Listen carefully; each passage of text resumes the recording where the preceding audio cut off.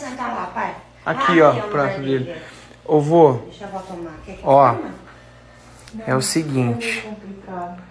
Vou te falar um negócio. No dia que você internou lá, O dia o quê? que você internou, É.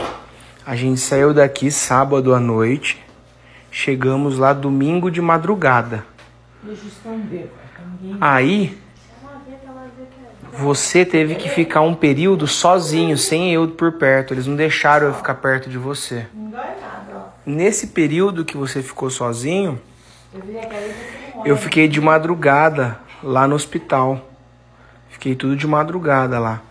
Aí elas apareceram lá no hospital com lanche, com suco, com cobertor. Falaram assim: a gente tá acompanhando, sabe que você é o, é o neto do vovô Anésio. Nós é de Araraquara aqui. Trouxemos pra você um, um- um negócio pra te acolher. Matar, matou minha fome. Bateu papo comigo até 6 horas da manhã.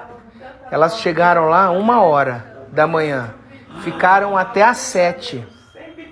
Ficaram da uma até às 7 comigo. Nossa senhora. Eu dormia sentado. Elas falavam assim, ó, o Caio tá dormindo. Eu tava assim, ó. dormia sentado. Eu tava cansado.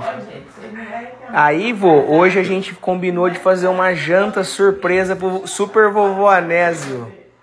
Ah, é? É! ah! Então tá muito bom, eu fico muito agradecido. Elas, ó, É pra mim?